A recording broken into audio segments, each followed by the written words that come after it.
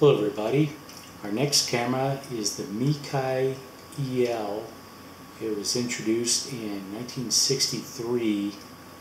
Uh, information varies a bit as to how long it ran, at least into the 70s, maybe as late as 1980. It has a Togodo, I'll mangle the name, new MK lens. It's 55 millimeter.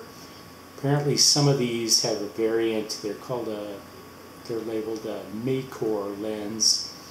The company dates back to 1930, uh, and then production was disrupted by World War II, and there were several splinters and variants and stops and starts after World War II.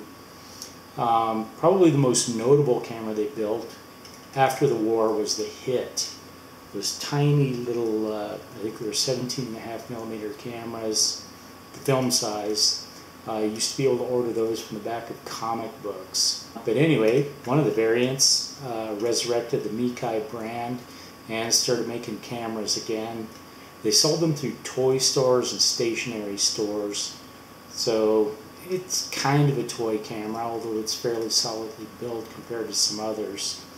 It has uh, aperture settings here on the top. Cloudy is f8, partly cloudy is F11 and sunny is F16. Some of them had a sail, sailboat logo for the sunny setting. Has a MISUBPI instant shutter.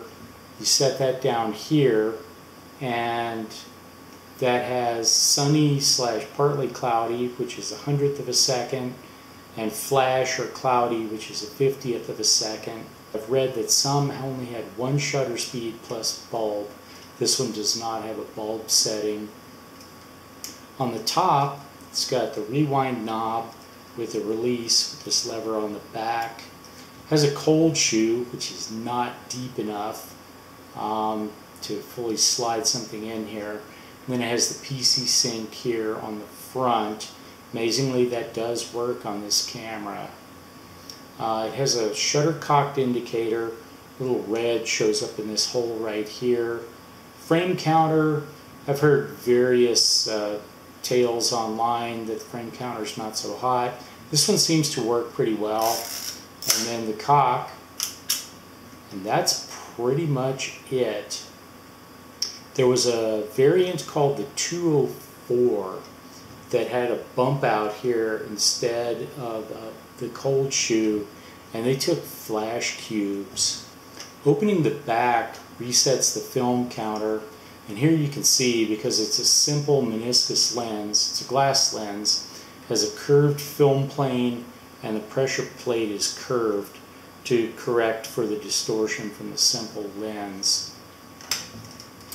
That is about it. There's, you know, a bit of discussion online about uh, whether this is a toy camera or not.